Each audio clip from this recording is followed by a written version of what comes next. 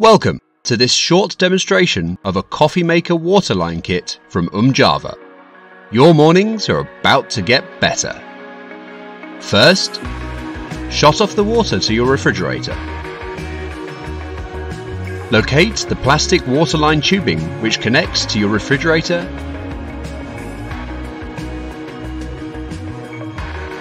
and snip it.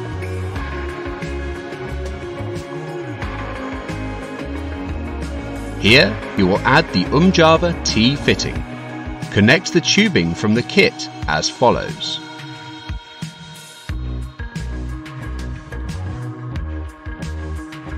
Split one direction to your water supply line, one direction to your refrigerator, one direction to your coffee maker. Be sure to make it straight and clean cut. Push the tubing in all the way. You will be able to feel it fully set when it is in properly. Next, insert the tubing, which is going towards the coffee maker, into the Umjava valve. There is an arrow on the valve to indicate the direction of the water flow.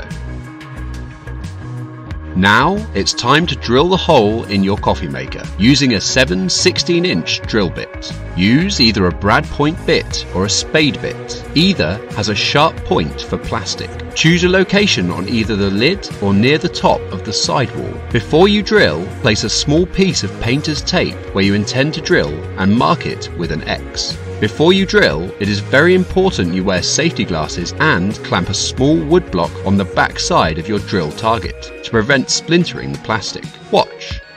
Once your hole is drilled cleanly, you can place the Umjava rubber grommet inside the hole.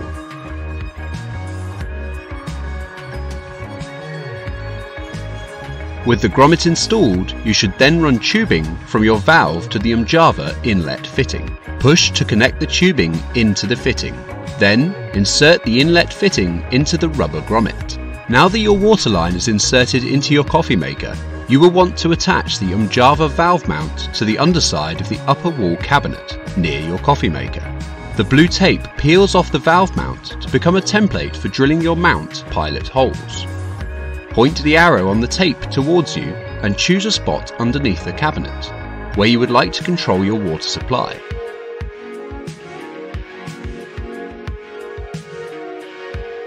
Use a 1 8 inch standard drill bit to drill the two pilot holes.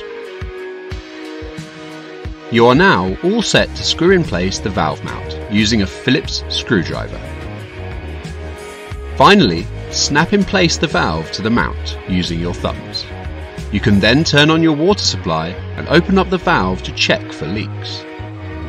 Congratulations! You can now make coffee the easy way.